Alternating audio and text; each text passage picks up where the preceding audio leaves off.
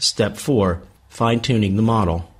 There are still a couple of things we need to do to fine-tune the model. We will perform mostly SEOs to handle this. With the next preset view active, bring up the SEO palette using the Design Solid Element Operations menu command. Perform a subtract operation by making the element at label 1 the operator, and making targets of all other elements pointed to by labels. Select Subtract for the operation, and click Execute. The intersections of the elements in the section will be nicely cleaned up. Repeat these steps with the next preset views through 8.4.7. In the next preset view, Label 1 marks the target,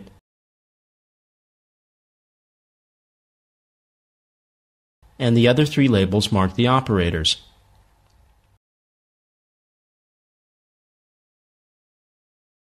Subtract the slab and walls from the body of the mesh.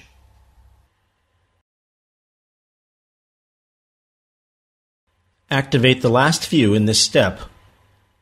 Select the Marquee tool and draw a rectangular selection area from Label 1 to Label 2.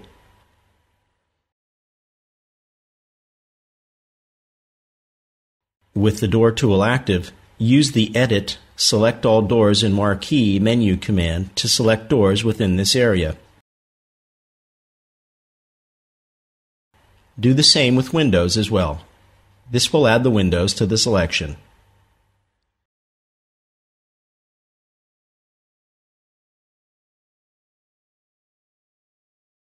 Use the Edit, Move, Drag menu command and drag these elements vertically so that their tops align with the tops of the other doors and windows in the elevation.